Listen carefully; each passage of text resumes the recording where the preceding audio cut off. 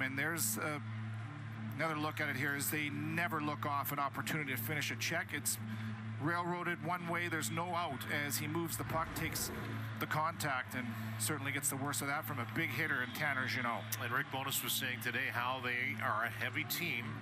They, they utilize that on the forecheck, and we saw that right there. So you hear the fans groan as they get a, their first look at the replay.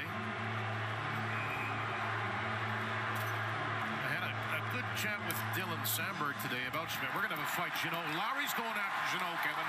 No big surprise, I suppose. Yeah, message here for sure from Lowry. They talked about it, and this is standing up for a teammate. Big hit that was high, and Jeannot knows what he's doing, but so does Lowry as well.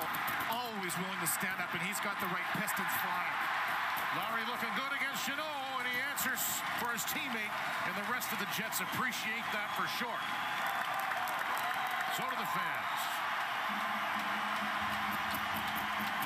It's how you build a team, and you stand up for each other at the right times. And I'll tell you what, Tanner Jeannot is 6'2", 205, but he is one of the toughest men in the Five National Hockey League. Knows what he's doing, and Adam Lowry can stand up to anybody. We've seen him stand up for teammates, standing up for himself a few years ago with Ryan Reaves, and there's no question about this one. This is happening. You do not hit a teammate of ours like that in our house. And Adam Lowry at center ice right on the logo here. So everybody gets eyes on this.